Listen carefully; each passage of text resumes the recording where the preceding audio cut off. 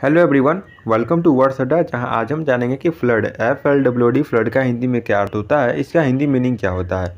तो फ्लड का हिंदी में अर्थ होता है बाढ़। अब आइए कुछ सेंटेंसों के ज़रिए इस वर्ड को हम लोग और अच्छे से समझ लेते हैं। The flood ruined the crops यानी कि बाढ़ ने फ़सल बर्बाद कर दी।